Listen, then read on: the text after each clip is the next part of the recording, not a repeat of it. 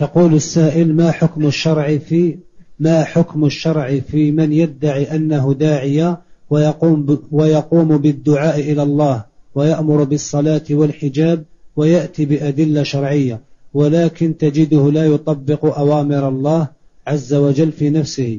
مثال ذلك تجده حليق ويلبس ما يسمى بالبنطلون ويجلس في مجالس مختلطة رجال ونساء. نعم هذا أدى واجبا وهو الدعوة إلى الله والأمر بالمعروف والنهي عن المنكر وترك واجبا وهو العمل بما يقول. فإثمه عليه إثمه عليه لكن نحن نقبل منه الحق.